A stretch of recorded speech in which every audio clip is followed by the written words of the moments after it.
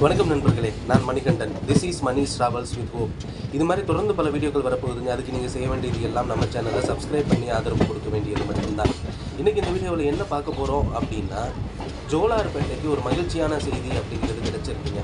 ஜோலார்பேட்டை அப்படிங்கிறது சென்னையிலேருந்து பெங்களூர் போகிற ரூட்டில் ஒரு இம்பார்ட்டண்ட்டான ஜங்ஷன் அது இல்லாமல் கோயம்புத்தூர் போகிற ரூட்டுக்கும் அது ஒரு முக்கியத்துவம் வாய்ந்த ஜங்ஷனாக இருக்குது ஆனால் பெரும்பாலும் அதிவிரைவு ரயில்கள் அப்படின்னு பார்த்த வந்தே பாரத் ஆகட்டும் இல்லை சதாப்தி மைசூர் வரைக்கும் போகக்கூடிய சதாப்தி ஆகட்டும் இந்த ரோட்டில் தான் ஓடிக்கிட்டு இருக்குது ஒரு மகிழ்ச்சியான செய்தி என்ன அப்படின்னா வர்ற ஜூலை ஒன்பதாம் தேதி முதல் இந்த ஜோலார்பேட்டை ஜங்ஷனில் மைசூர் போகிற சதாப்தி எக்ஸ்பிரஸ் போகும்போதும் சரி வரும்போதும் சரி நின்று செல்லும் அப்படிங்கிற அறிவிப்பு வெளியிடப்பட்டிருக்கிறது.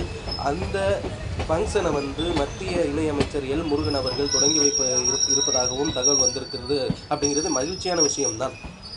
என்ன அப்படின்னா காலையில் ஆறு மணிக்கு சென்னை சென்ட்ரலில் இருந்து புதன்கிழமை தவிர மற்ற எல்லா நாட்களையும் கிளம்பக்கூடிய சதாப்தி எக்ஸ்பிரஸ்ஸு காட்பாடி பெங்களூரு அதுக்கடுத்து மைசூர் இப்படி தான் நின்றுட்டு போகுது. இனிமேல் இந்த ட்ரெயினுக்கு நிறுத்தம் அப்படிங்கிறது போகும்போதும் வரும்போதும் ஜோலார்பேட்டை ஜங்ஷனில் இருக்குது மைசூருக்கு ஒரு மணிக்கு போகிற ட்ரெயின் திரும்ப ரெண்டே காலுக்கு எடுத்து ஒம்போதரைக்கு எல்லாம் சென்னை வந்துட போகுது.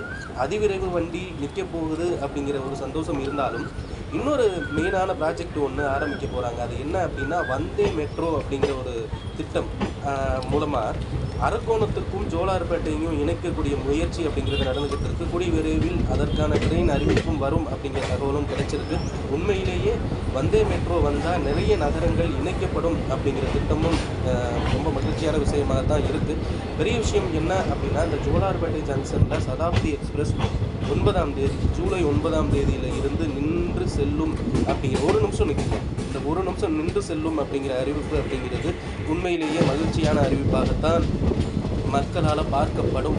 கண்டிப்பாக என்ன அப்படின்னா நம்ம ஒன்று காட்பாடி இல்லைன்னா சென்னையில் தான் இந்த ட்ரெயினுக்கான இருக்கிறதுனால ஜோலார்பேட்டை மக்களுக்கு கொஞ்சம் அது மைனஸாக இருந்தது. இனிமேல் இந்த சுற்று வட்டார பகுதியில் திருப்பத்தூர் மாவட்ட மக்களுக்கு இது ரொம்ப மகிழ்ச்சியான செய்தியாகத்தான் இருக்கும் அப்படிங்கிறது தான் உண்மை. இந்த வீடியோவில் நான் கொடுத்த தகவல் உங்களுக்கு போதுமானதாக இருந்திருக்கும் அப்படிங்கிற நம்பிக்கை எனக்கு இருக்குது அது மட்டும் இல்லாமல் இந்த தகவல்கள் எல்லாம் மற்றவர்களுக்கு சென்று சேரணும் அப்படின்னா இதை நீங்கள் ஷேர் பண்ணுங்கள் லைக் பண்ணுங்கள் கமெண்ட் பண்ணுங்கள் அடுத்த வீடியோவில் நான் உங்களை மீட் பண்ணுறேன் நன்றி.